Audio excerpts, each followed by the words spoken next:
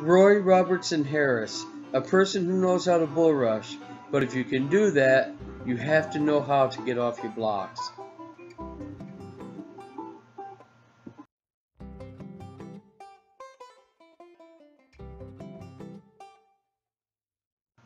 Not just a pretty face, this kid knows how to pass rush or block punts.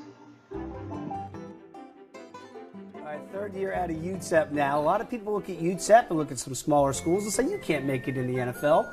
What does it say about you, the caliber of play that you had in college, versus maybe what people don't know at what goes on at a school like UTEP? Coming out of a small school, uh, at the end of the day, it doesn't matter where you come from, drafted, undrafted.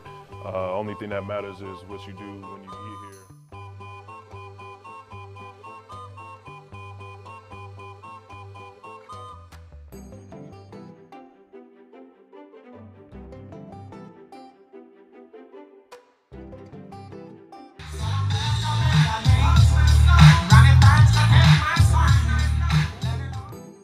Here is his bull rush.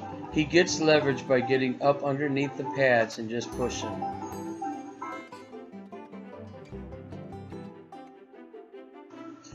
You have to have brute strength to do this.